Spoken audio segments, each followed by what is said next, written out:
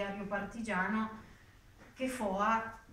va a dirgli eh, guarda che abbiamo deciso tu fai il vice sindaco per il partito d'azione lei si mette a ridere tutta tranquilla perché la piglia come una battuta poi vede che Foa non sta ridendo per niente a quel punto si spaventa tantissimo perché dice io di,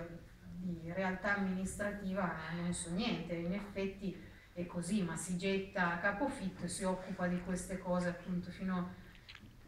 fino all'autunno del 46 anche scrivendosi con croce e dicendo è un, è un lavoro di piccolo cabotaggio che faccio con grande fatica, amerei tanto tornare a studiare, mi chiedo però ha più senso che io riprenda uno studio che a me darebbe un enorme piacere e che leggerebbero in pochi? O ha più senso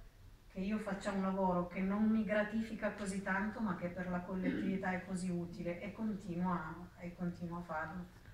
Comunque lei che finito il Partito d'Azione la manda anche come consultore nazionale a Roma, fa parte della consulta che diciamo l'assemblea che c'è prima delle elezioni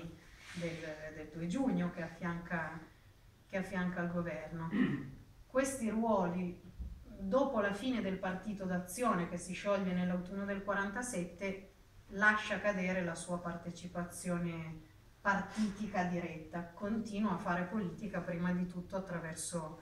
la sua attività educativa, ma riprende a fare attività politica perché Ada nel, nel 1956 e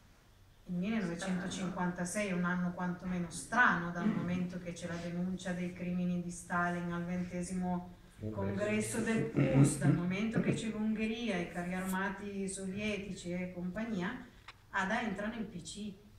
quando una batteria di intellettuali a partire dalla sua grande amica Bianca Guidetti Serra con enorme dolore esce dal PC, lei ci entra. Infatti Bianca Guidetti racconta, dice io esco e, e lei entra. Si incrociano sulla porta. Si incrociano sulla porta e lei le dà molta solidarietà a Bianca, l'unica del congresso provinciale che eh, Bianca, con, Bianca Guidetti Serra con grande con grande dolore lascia il PC dopo i fatti di Ungheria, nel silenzio totale dell'assemblea soltanto Ada Gobetti sulla porta la abbraccia e le dice così, fatti coraggio, eh, quando solidarietà